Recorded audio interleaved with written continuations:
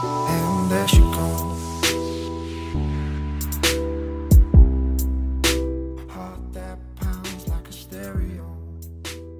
Hello everyone, welcome back to another video. Today I'm going to be showing you how to animate parts and make them play with Moon Animator.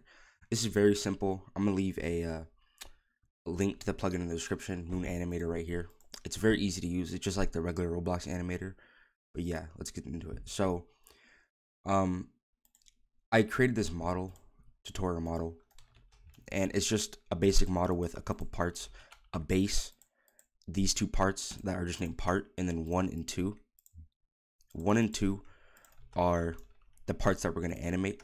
You can an- anchor every part in the model except one and two, or anchor every model except the parts that you're going to animate, and make sure your model has primary part set to the base part, which is basically like this is the base part down here. Now with Moon Animator, it's going to come with this Easy Weld right here, and this is what we're going to use to make the Motor 6Ds to be able to animate. So open Easy Weld, select parts, and then you want to click on base, your base part, hold control, select one, and then select two, and then click join in place. And it'll weld them together with animatable Motor 6Ds. Also make sure when you're doing that, that animatable is uh true. And after you do that, you're ready to animate. So you want to click, you want to open Moon Animator, and you want to click File, and you want to click New Animation, and just name it Test or whatever you want to name it. And now, like I said, it's just the uh, animation editor on Roblox. So just click this little plus right here, select your model, and then select Rig and C frame, and then click OK, and then you're ready to animate. So I'm gonna select part one, create a keyframe, moving it to here, and then move this slider over. Select part two, move it over here, and then move the keyframe over again.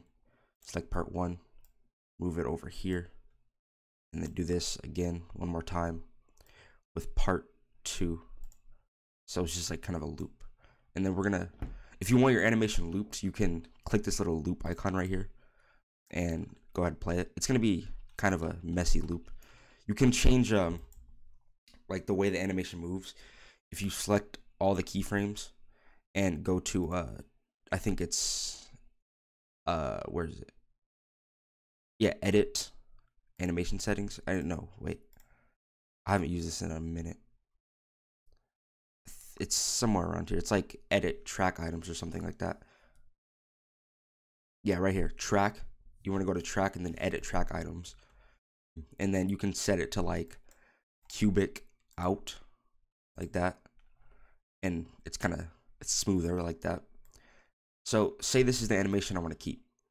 You want to export it. So you want to go to file.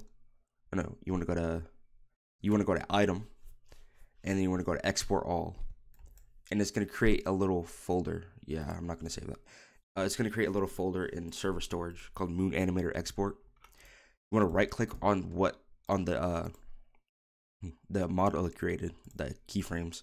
Right click on that blue thing, click Save to Roblox, name it whatever you want, and then submit. And then you want to copy this ID right here with this little button. And now, if you want the animation to like play it in game, we can use an animation controller instead of like just a humanoid since it's not like an actual player. You're gonna right click on your model, insert object, animation controller, and then right click again, insert an animation.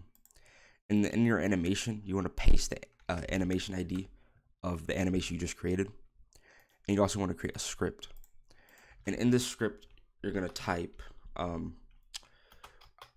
I'll just do wait five, make sure everything's like in and then we can just do animation or script.parent.animation controller animation controller load animation script.parent.animation play. So what it's going to do is get this animation controller it's going to load this animation and then play it.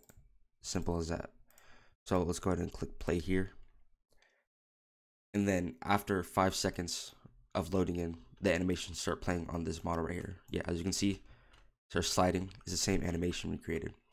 I think you can if it's welded like this, like how we did, like these Motor 6Ds, I think you can still use the regular Roblox animation right here like that. Yeah, see, you can you can animate it just like this with the regular Roblox animator. So you don't have to use Moon Animator. You can only use you can use you can use Moon Animator to weld it, but you can animate it with the default one. But yeah, if this video helped you, you can join my Discord server link in the description below if you need any help. And yeah.